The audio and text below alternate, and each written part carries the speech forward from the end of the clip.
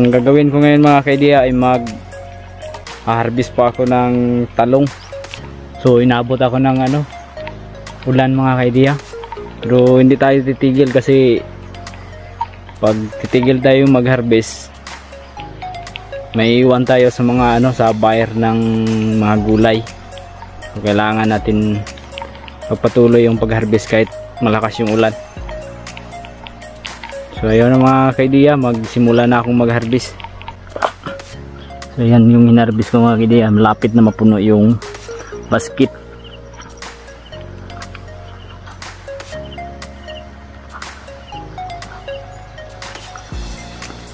So binalot ko tong mga bunga ng talong para maiwasan yung ano maraming reject. So kinak kinakain kasi ng ano uod. So ayan oh. Haba ng ano talong.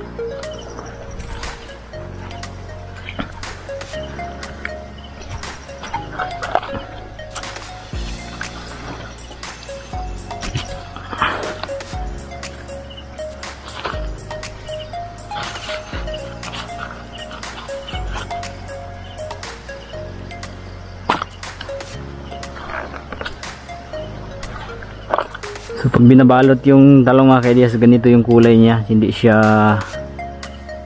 medyo ano talaga. Hindi katulad nitong isaw. Yan o yan magkaiba yung kulay sa binalot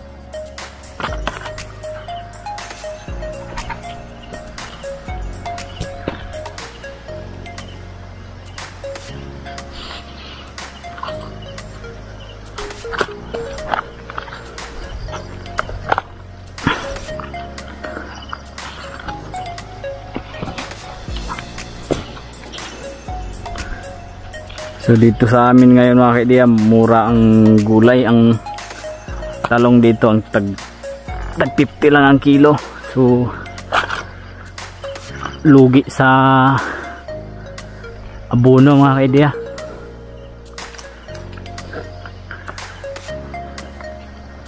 So yung abono tag 75 ang kilo ang ano, ang roria. So ang talong ay tag 50 lang ang kilo.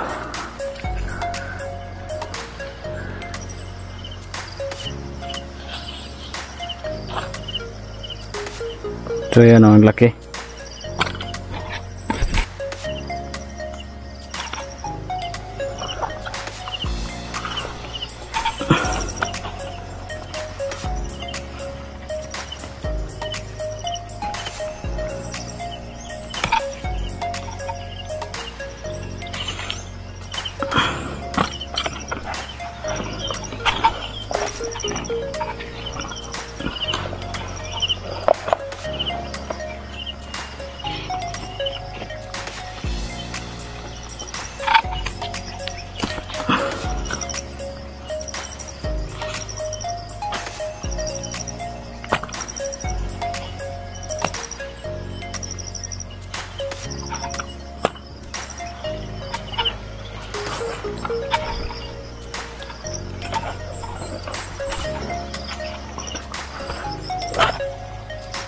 Ayan mga kaya puno na. Ihatid ko muna doon sa ano sa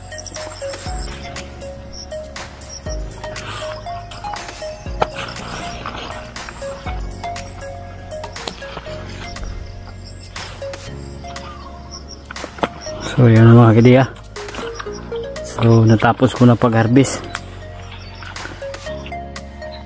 So ayan na po na-harvest ko lahat mga kaidiya Mga Makaabot ng mga 6 na kilo. Tapos itong ito yung ano Yung sitaw yung sa ibabaw Tapos yung sa ilalim Ukra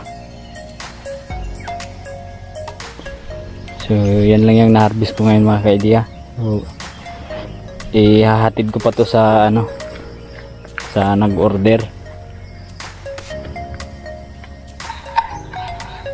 paki-share sa ginawa kong video mga kaidiya kasi grabing mura na talaga dito ang gulay sa amin dito sa Negros so ang ukra ngayon dito sa amin ang kilo ay tag 15 ang kilo minsan nga abot na lang ng ano tag 10 piso ang kilo So naglalaro po siya sa 15 to 10. Tag 10 ang kilo o 15. So grabing mura. So ang itong talong ay mahal, medyo mahal-mahal mga kaidiyam. Tag ano? Tag 50 ang kilo. So medyo mahal-mahal yung talong pero hindi pa ikumpara mo siya sa presyo ng abono ay mas mataas pa rin ang presyo ng abono. So 75 ang kilo ng abono. So yun talaga yung rinreact ng mga farmers dito sa amin. Kahit yung nagtatanim ng palay. So yung iba tumigil na magtanim.